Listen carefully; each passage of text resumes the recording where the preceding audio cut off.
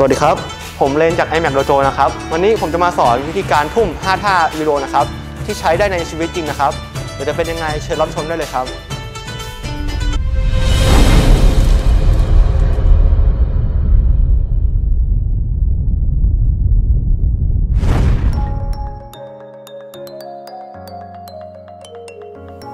ครับการใช้ท่ายูโดในชีวิตจริงนะครับ ก่อนอื่นเราต้องเข้าในระยะที่เราประชิดเขาก่อนนะครับ ไม่ใช่ระยะเตะต่อยต้องเข้ามาใกล้นะครับ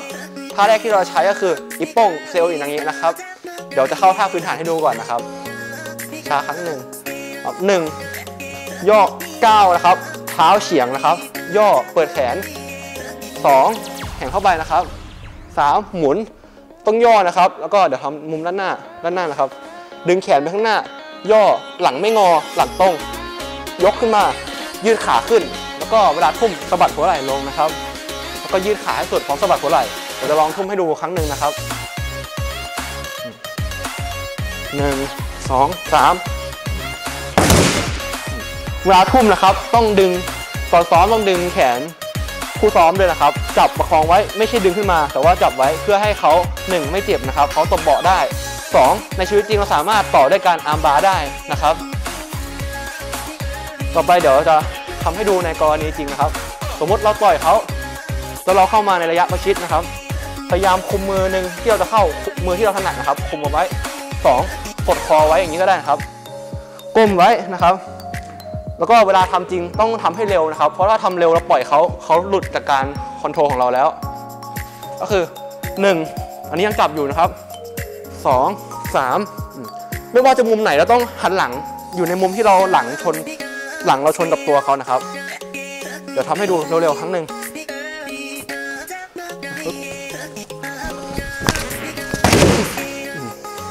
ย่อสำคัญมากนะครับ ก็อีกกรณีหนึ่งก็สามารถเจอใช้ได้ในกรณีที่เราหันหลังอยู่ แล้วมีคนมาล็อกคอเราครับ ล็อกปุ๊บกดลงก่อนนะครับ ย่อสะบัดหัวไหล่กดเอาไว้ ใช้เข่ากดตัวเขาไว้ครับ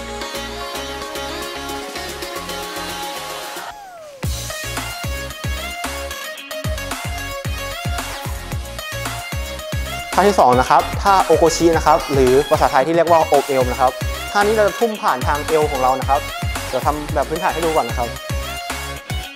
นี่เราอาจจะ control เปลี่ยนเมื่อกี้จับจากข้างบนใช่ไหมตอนนี้อาจจะเปลี่ยนมาเป็น underhook นะครับคือด้านหลังของเขาหันด้านหลังโน้มตัวตรงนี้กดเอาไว้นะครับหนึ่งเปิดนะครับสองมือตรงนี้กลับมาที่เอวสามหมุน เวลาหมุนนี่เดี๋ยวดูด้านหน้านะครับ เราจะเอาเอวเผื่อนะครับ เพราะท่านี้จะทุ่มผ่านทางเอวนะครับ ยกขึ้นมา นี่เดี๋ยวจะลองทุ่มให้ดูทีนึงนะครับ เดี๋ยวจากด้านหลังหนึ่งสองสามเหมือนเดิมครับ เข่ากดดึงแขนเขาไว้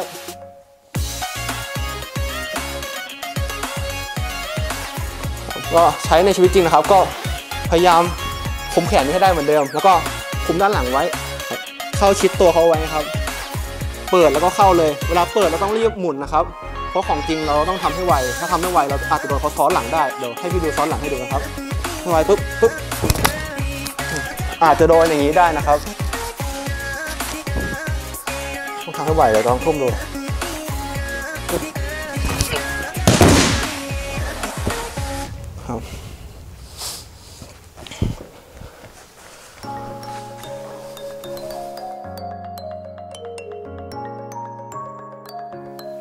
ครับท่าต่อไปนะครับท่าฮาลายนะครับ เดี๋ยวลองทำให้ดูเข้าท่านะครับท่าฮาลายจะ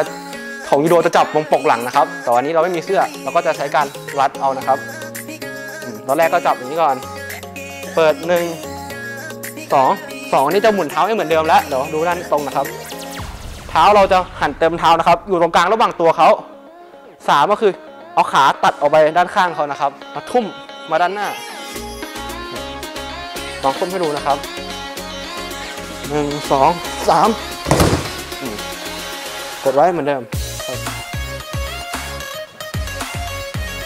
แต่ท่านี้เวลาสมมติเราใช้จริงนะครับ แนะนำว่าให้ทุ่มไปแล้วก็ลงไปทับเขาด้วยท่าเกซ่านะครับ เดี๋ยวทำให้ดูเวลาทับ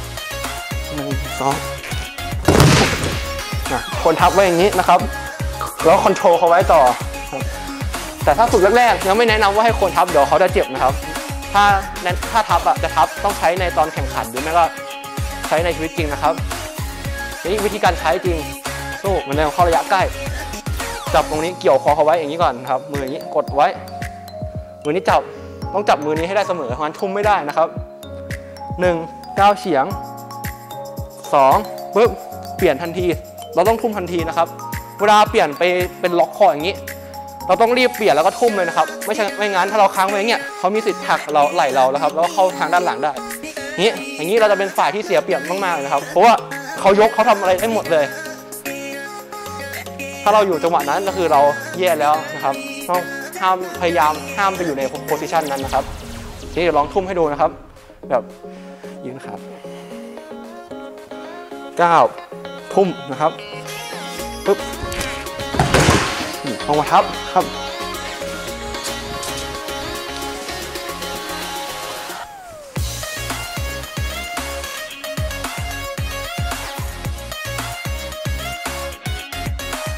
ต่อไปนะครับท่าที่ 4 นะครับท่าโอสโตการินะครับ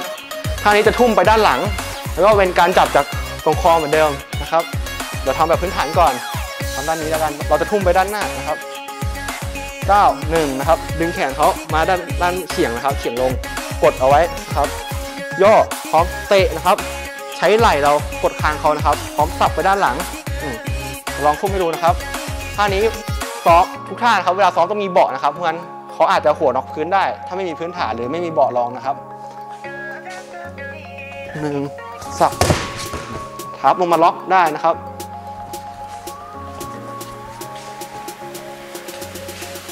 เวลาใช้จริงนะครับ ก็เขาจะใช้ใน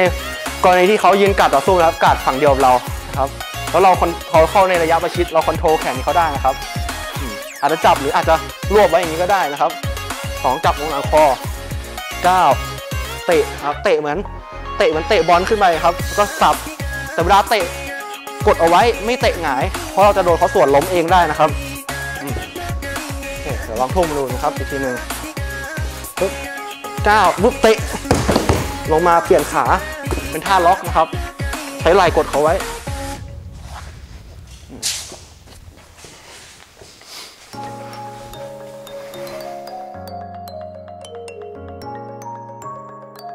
ครับท่าที่ 5 นะครับท่าสุดท้ายไทโอโตชินะครับ ถ้าเป็นของยูโดนะครับ มันจะมีปกยูโดปกเสื้อเราจับนะครับ แต่อันนี้เราไม่มีเราจะใช้การประยุกต์ด้วยการไปด้านหลังครับ underhook เหมือนเดิมเหมือนท่าอบเอวนะครับ แต่อันนี้จะไม่เหมือนอบเอวอย่างหนึ่งอบเอวเราจะใช้เอวในการทุ่มนะครับ แต่อันนี้ไทโอโตชิเราจะวนนะครับใช้ใช้วงนะครับ วงกว้างแล้วก็ใช้ขาในการช่วยทุ่มท่านี้จะไม่เอาเอวเข้าไปนะครับ เดี๋ยวสอนที step ก่อน 1. รวบหลังให้ได้นะครับ 2. 9เฉียงเหมือนเดิม 3. ขาหนึ่งเข้า แต่เนี่ยจะวนมากว้างหน่อยนะครับ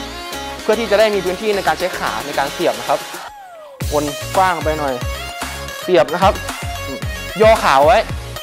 แขนเปิดขึ้น เด้งพร้อมกดนะครับ บิดนะครับบิดตัว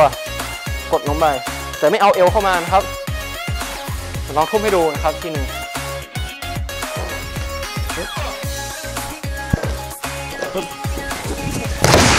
ครับกดเอาไว้ ก็กรณีใช้จริงนะครับ ก็จะใช้ในการที่ต่อสู้แล้วเขายืนคนละกาดกับเรานะครับ มันจะชนกันอย่างนี้มันจะชนกัน แล้วก็เขาตอนเนี้ยเขาตัวเขาหมุนไปทางนี้ เราต้องหมุนตามทิศที่เขายืนนะครับ ถ้าเราหมุนไปอย่างเงี้ยไหลเราจะฝืนธรรมชาติเกินไปนะครับ ต้องไปทางเดียวกับที่เขายืน อย่างเช่นเขายืนมาทางนี้ทางตรง เราก็ต้องเข้าท่ายังไงก็ได้ให้มันมาทางตรงนะครับ ถ้าเขายืนมาทางนี้ ก็ทุ่มไปทางนี้ครับปึ๊บกดเอาไว้นะครับ แขนได้